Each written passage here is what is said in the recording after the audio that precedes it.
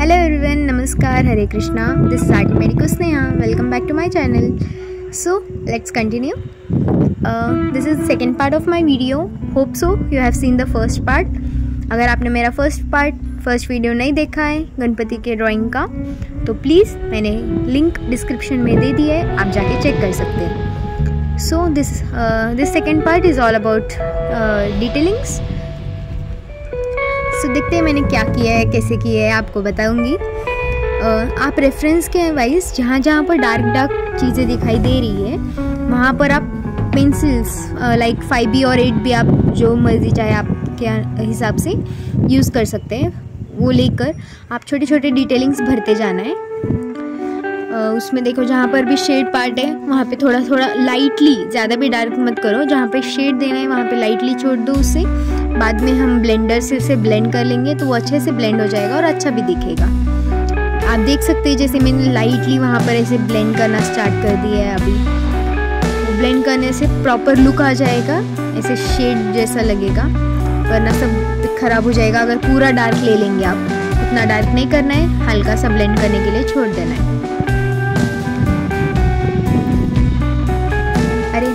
तो आप सबको गणपति गणेश चतुर्थी की शुभकामनाएँ देने भूल गई। Sorry guys happy Ganesh Chaturthi to all may Bappa bring all the happiness to you this year, whatever you are pleasing for.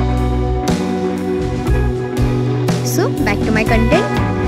Uh, आप देख सकते हैं मैंने पहले पैर को डार्क किया जहाँ पर मतलब अभी उसकी धोती है। वहाँ पर वो नीचे वाला पार्ट हमेशा डार्क लगता है दिखाई नहीं देता।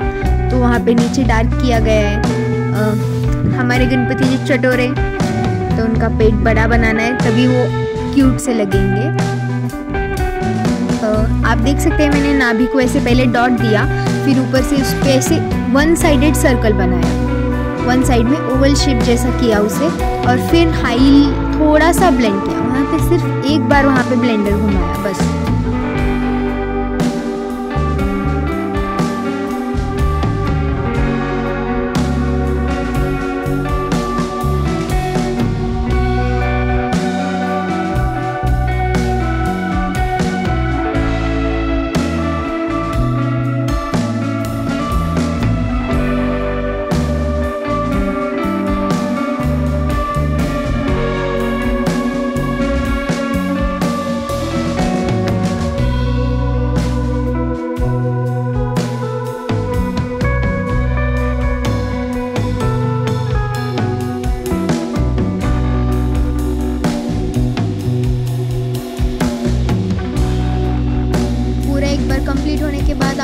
ऊपर से देख लो आपको जो जो पसंद है, क्या क्या ऐड करना है, क्या नहीं ऐड करना।